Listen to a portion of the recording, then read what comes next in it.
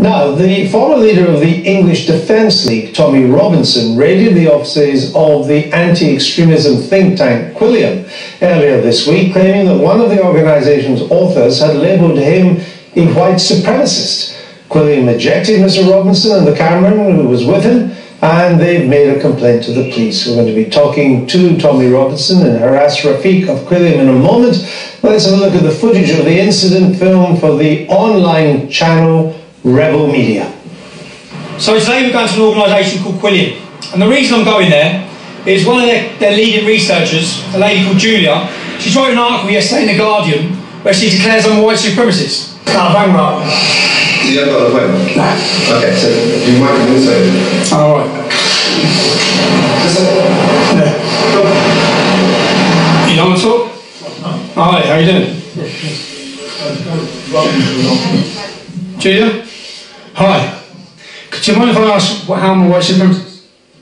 I did not say that you are a white supremacist at any. No, I did not say that. You can read the exact article. Go ahead. Why, why, why are you trying to break his camera? Why are you trying to break his camera? Why are you trying to break his camera? Why are you trying to why are you breaking his camera? Let's start first as well. Come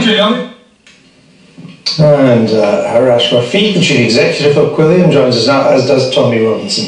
Uh, Mr. Robinson, let me come to you uh, first. I mean, you, you often complain that you're, you're portrayed as much more extreme uh, than you say you are. But do you think bursting into an office like that and ending up in a bit of a fracas uh, helps in the kind of image you want to portray? The doors were open. I was very polite. I walked in with one cameraman and asked a simple question. Now, bearing in mind that the lady in her article called me a white supremacist, in the last two weeks I've had to go to four different companies' premises who have all run headlines that are complete lies. And this, for me, this isn't just about me. This is about people who support me. It's about working class people at home who have been pigeonholed as extremists, as racist, as far right, when they're not. They're genuine concerns and fears. Quilliam's purpose, though, is, is to counter extremism.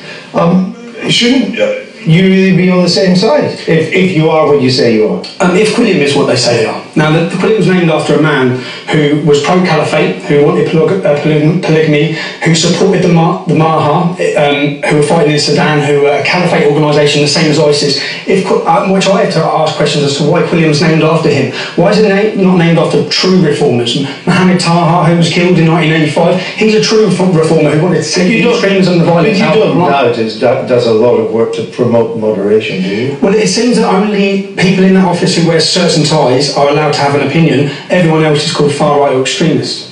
But you know, you've had group photos with you, attended rallies, you've tweeted endorsements, endorsements of groups like Britain First. Um, I, I've reported on the Britain First demonstration, and as I've reported on Muslim demonstrations. As I, I'm now doing reporting for Rebel Media, so of course I'm going to go to these organisations. I'm going to try and, and, and the reason I'm going, and I have to go, is because the truth is not being relayed to the people at home. The mainstream media, whether it be the BBC, they're all reporting fake news. They're lying to people.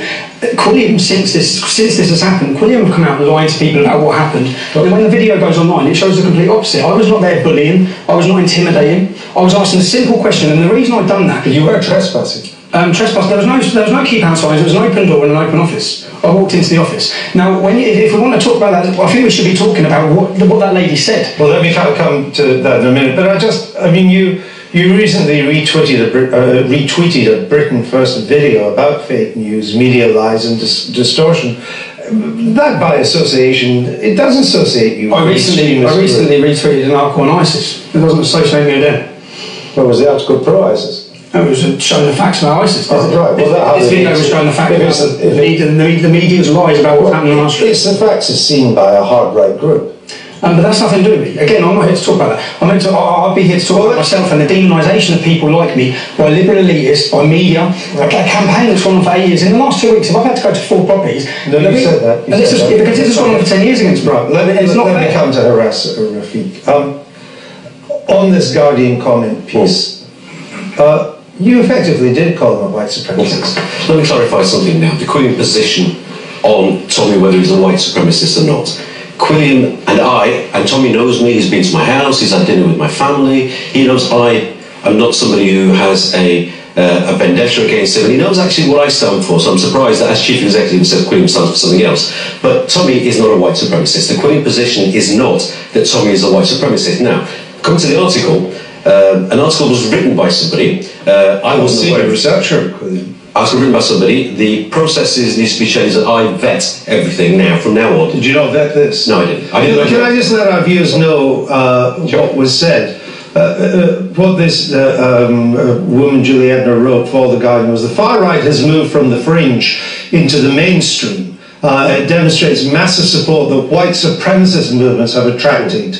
Uh, their online followership often exceeds that of mainstream political parties. And then immediately says, Tommy Robinson's Twitter account has almost the same numbers as Theresa May's. So, I mean, although it, she didn't write, uh, Tommy Robinson is a white supremacist, it would be hard to come to any other conclusion when you read the, the, the, the logic, the, the, the chronology, chronology of that article. I, okay, let me again reiterate the position. Tommy Robinson is not a white supremacist as far as Quilliam is concerned.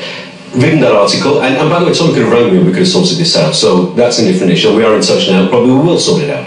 Um, the article was not meant, I've spoken to the author, the article was not meant to say he's a white supremacist. It could have been worded better, absolutely. It was meant to say, according to her, that um, Tommy has followers, as many organisations do as well, who are not white supremacists and will attract people who are white supremacists because sometimes they will feel attracted to a message, not necessarily his fault. So necess- it was clumsily worded. I, I think it should have been worded differently, but it was not meant to, and my reading of it was not to say that Tommy is a white So supremacist. there he has, he said on live on network television, he doesn't think you're a white supremacist. And I'm the head of Quilliam. Everyone knows I'm not a white supremacist. The problem is that this was wrote in order to demonise, slander, and stigmatise people who are criticising Islam. That's what this was wrote. No, wasn't. and that's not just about me. That's about people who support me, which is frustrating because uh, for me, I, I meet people in the street who don't like me, and they don't know why they don't like me. When they, they don't like me, I get attacked regularly. And when I get down to talking to them, one person actually attacked me. I went to his house and spoke to him, and everything he thought I stood for, I didn't stand for, and that's because of articles like this. Right. And, and, can I That's fake news. Yeah. Okay.